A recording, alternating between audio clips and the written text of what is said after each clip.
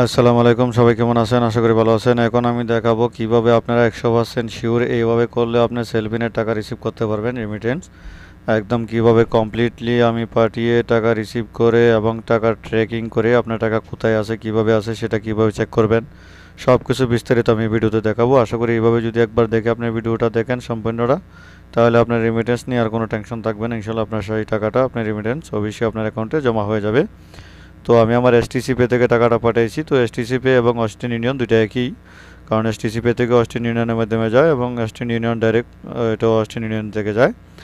তো আমি Austin Union থেকে টাকাটা পাঠাবো এবং সেটাই টাকাটা দেখেন আমি এখন আমার সেল পিনটা ওপেন করে নিচ্ছি। তো এখানে দেখেন আমার ব্যালেন্স কিন্তু জিরো জিরো ওকে আমার কোনো ব্যালেন্স নাই।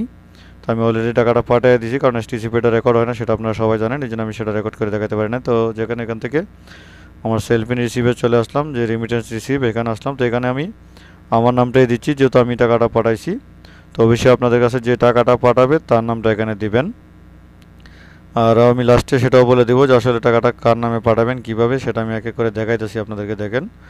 এবং নিচে যেখানে আপনি সৌদি, আমি সৌদি থেকে পাঠাইছি, আপনি অন্য কোনো দেশ থেকে হলে সে দেশটা দিবেন। কারণ আমার ভিডিওগুলো অনেকেই দুবাই বা কাতার, বাহরাইন, আপনার মালয়েশিয়া এবং কিছু দেখেছি আমি আপনার রাশিয়াতেও কেউ দেখছে, এরকম আমার এখানে অবশ্যই রিপোর্ট আসে, কে কোন দেশ থেকে দেখতেছে। তবে নামটা আসে না অবশ্য মানে বিভিন্ন দেশ থেকে যে দেখে সেইগুলো আমি দেখতে পারি এখানে। তো এখানে নিচে আপনার মোবাইল নাম্বারটা দিবেন, যে সৌদি বা যে দেশ থেকে পাঠানো হয়েছে, সে তার মোবাইল নাম্বারটা সেটা সেলফিনের থাকুক অথবা না থাকুক, তাতে কোনো সমস্যা নেই।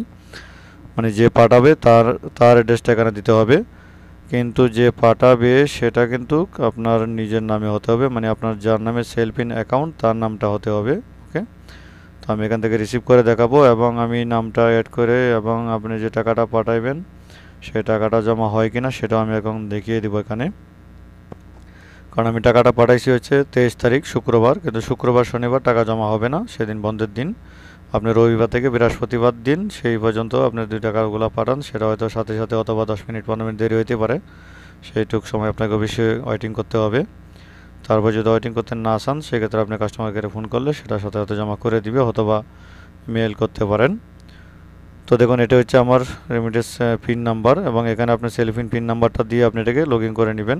তবে এখানে সাবমিট করে দিবেন।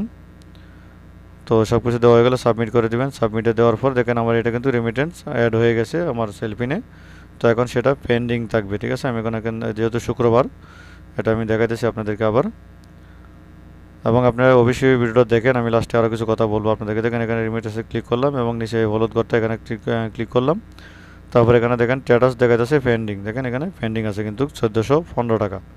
ওকে অবশ্যই যে পয়সাটা থাকে সে পয়সাটা দিবেন না, শুধু মেন যে ব্যালেন্সটা সেটা দিবেন।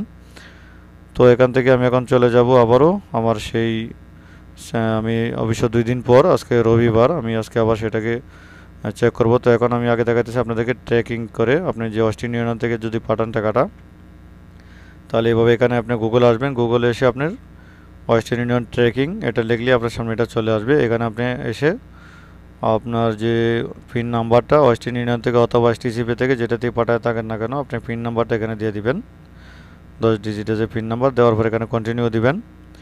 তো কন্টিনিউ দেওয়ার পর দেখবেন আপনার সামনে এটা শু করবে। আপনার টাকাটা কি অ্যাভেলেবেল রিসিভ আছে না প্রসেসিংয়ে আছে? তো আমি যেহেতু সাথে সাথে দেখছি ওই দিন, তো এটা প্রসেসিংয়ে আছে। তো এটা বাদ, এখন আমি রবিবার দিন আজকে, তো আজকে রবিবার আমি রবিবার দিন যে টাকাটা রিসিভ করছি, এটা দেখেন এখানে আমার চোদ্দোশো পঞ্চাশ টাকা ব্যালেন্স হয়ে গেছে।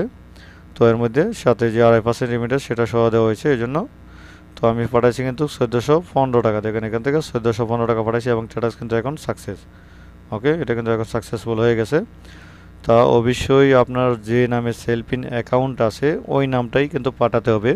কে পাঠালো, এটা কোনো বিষয় না। যে কোনো লোকে পাঠাইতে পারে, আপনি নিজেটা নিজে পাঠাইতে পারেন বা অন্য কেউ পাঠাইতে পারে, যে কোনো দেশ থেকে পাঠাইতে পারে, সেটা কোনো প্রবলেম নাই। কিন্তু প্রবলেম হচ্ছে, অবশ্যই আপনার সেলফিন যার নামে অ্যাকাউন্ট করা আছে ওর নামটাই আপনি রেমিটেন্স বেনিফিশিয়ারিতে অ্যাড করতে হবে তাহলে কিন্তু আপনার এই টাকাটা জমা হবে।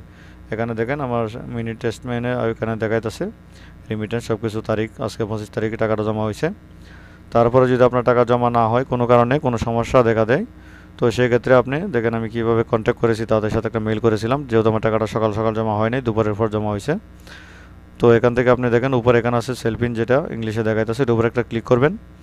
তো এটার উপর ক্লিক করার পর এখানে কন্ট্যাক্ট আছে। কন্ট্যাক্টে দেওয়ার পর দেখবেন এখানে ফোন নাম্বার আছে ইমেল নাম্বার আছে। তো আপনি এখান থেকে জিমেল করে বা ইমেল করে তাদেরকে আপনি বিষয়টা জানাতে পারেন যে টাকাটা জমা করার জন্য। তো আমি এবার মেল করেছিলাম। তো অবশ্যই খেয়াল রাখবেন, আমি আবারও বলে দিচ্ছি, অবশ্যই সেলফিন অ্যাকাউন্ট যার নামে, তার নামে বেনিফিশিয়ারি অ্যাড করে টাকাটা পাঠাবেন।